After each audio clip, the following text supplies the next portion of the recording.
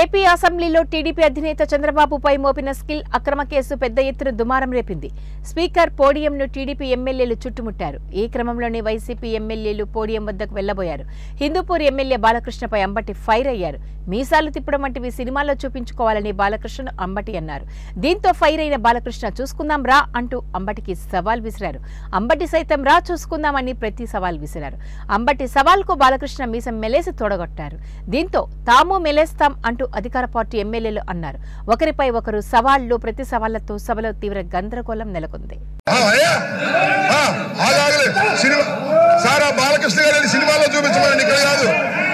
బాలకృష్ణ గారిని సినిమాలో చూపించబడింది ఇక్కడ ఇక్కడ మీసాలు లేదు దాని